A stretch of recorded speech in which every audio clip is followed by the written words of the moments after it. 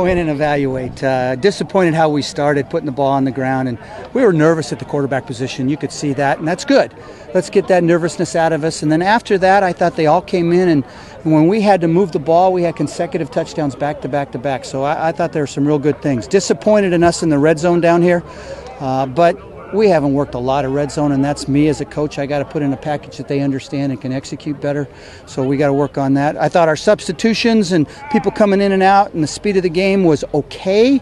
Uh, our fast tempo plays were terrible. Uh, we missed on the snap a couple times, and we got to we got to catch them on that tempo. So we got to we got to get better there. But overall excited to go watch the film. It's never highs or lows until you watch the film, and then we'll see from there. How hard was it to not have a lot of your you know starters out there today, Storm or Victor and, and those guys? You know, you, you don't have 13 out there, you don't have six out there, you don't have Storm out there, you don't have Isaac out there.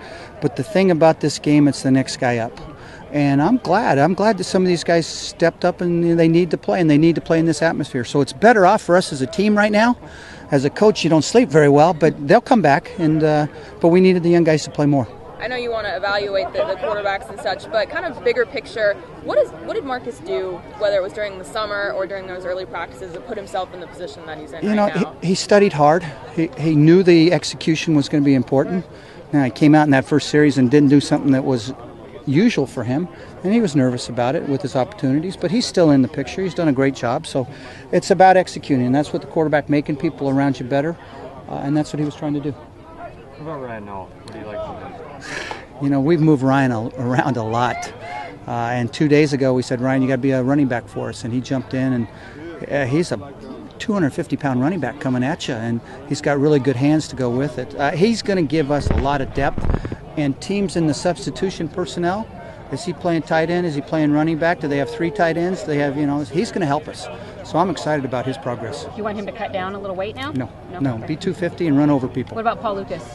Paul showed some things at the end. We didn't get him enough. Uh, you know, he, he was hurt. Uh, I didn't know he was going to scrimmage, and he played through it. So I'm really excited how a young kid, you know, had a tight back and said, "I want to play," and that was good. To, good for Paul. How has Brett Vanderveen uh, come along? Two touchdowns today. It looks obviously a lot bigger than in the spring. So how, how do you evaluate his progress? You know, I think he's doing some nice things. I'd like to see him get more physical. He's gained the weight and everything.